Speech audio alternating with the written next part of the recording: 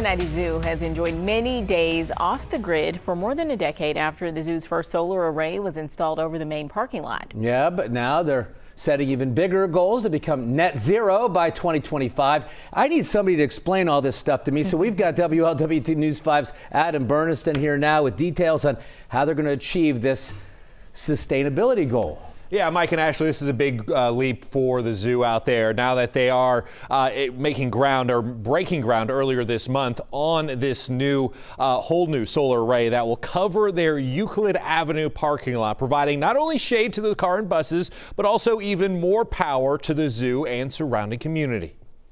Project comes online, a little around two thirds of our power will come from our parking lots.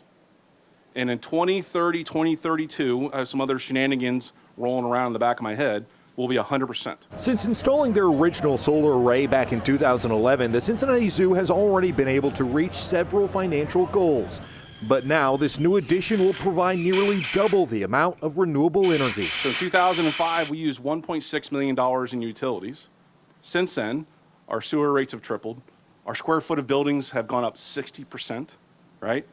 Doubled our attendance, and yet our energy bills have been cut in half.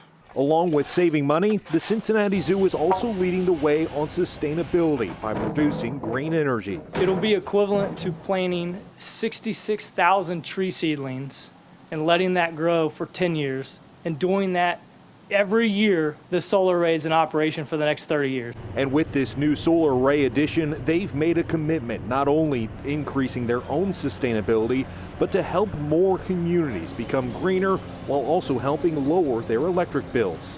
We ordered additional panels, uh, and it's a significant amount, that will be deployed in Avondale, East Price Hill, Bond Hill, etc., to again invest the same beautiful renewable asset into underserved communities that need help.